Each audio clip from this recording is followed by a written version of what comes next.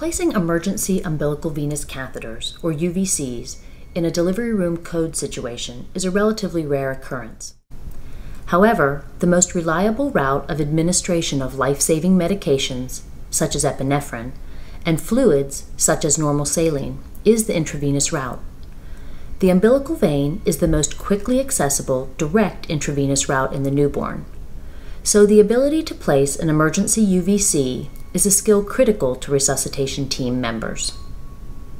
Because emergency umbilical venous catheter placement is rare, we're going to demonstrate a method called the 3x3 method.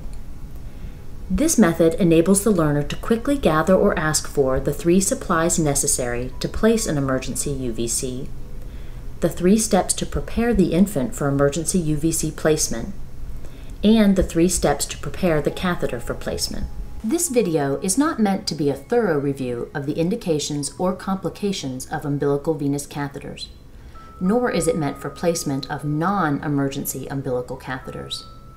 This is an instructional video for the purposes of emergency umbilical venous catheter placement technique to ensure the resuscitator has the appropriate equipment, understands how to use the equipment, and can place a potentially life-saving catheter quickly, efficiently, and without complication. Let's get started. The three things you need to ask for or find to place an emergency UVC are number one, the catheter, number two, the UVC tray, and number three, normal saline flush. As a brief aside, the catheter is for an emergency. Therefore, you want only a single lumen rather than the double lumen often used in the NICU to decrease your preparation time. The catheter can be either 3.5 French or 5 French.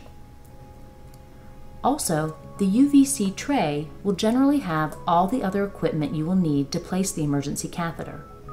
However, you should be familiar with the trays at your particular institution. The normal saline is often in the form of pre-drawn syringes, or it may be drawn from a bag of normal saline or a vial of normal saline. Again, you should be familiar with the normal saline supply in the delivery room at your institution. So, the three things you need to ask for to place the emergency catheter are the catheter, the UVC tray, and normal saline flush. After you open your tray, you will need to prepare the infant for the emergency UVC. There are three steps to preparing the infant. Clean the cord with betadine or other antiseptic solution. Tie the cord with the umbilical tape found on the tray.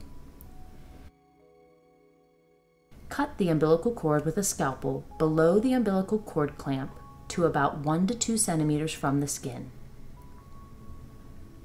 Once again, the three steps to prepare the infant are clean the cord, tie the cord, cut the cord. Note that there is no time for sterile gown and glove or need for drapes in the placement of an emergency UVC, unlike the more controlled and sterile placement of non-emergent umbilical catheters. Next, you will use three steps to prepare the umbilical catheter.